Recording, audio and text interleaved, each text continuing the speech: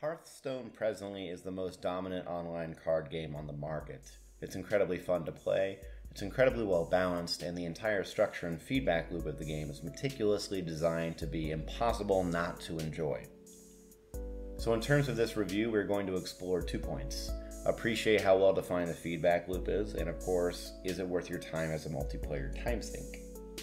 First, holy shit, does this game feel good to play. Not only do the effects and the speed of the play and the forgiveness of your losses go smoothly so you're right back into playing more, but the reward system itself is amazing.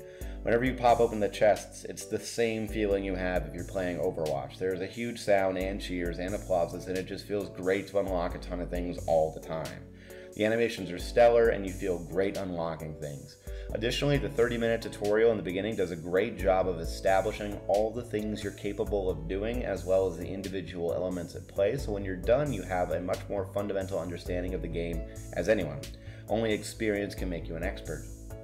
As a multiplayer time sink, it's one of the few games where you can start and quickly become a dominant player if you invest your time wisely into it and study it and treat it seriously. Some of the older players will maintain their dominant advantage, and that creates a skill ceiling that can often feel like a cliff that many new players will not be able to get over. But the game does a decent job at matchmaking, so you will be able to play with people who are at your level or a similar level.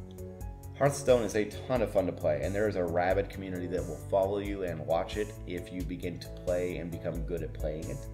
Additionally, you can take this game everywhere. I can have it on my computer, my tablet, my phone, and the game will feel similar or be the same across the board. Hearthstone is a great way to spend and dump a ton of your time. I would recommend it to anyone, but if you're weak with gambling intentions and addictive personalities, this game almost feels predatory towards those inclinations. That being said, it is incredibly enjoyable and a great way to invest your time and abilities. Check it out.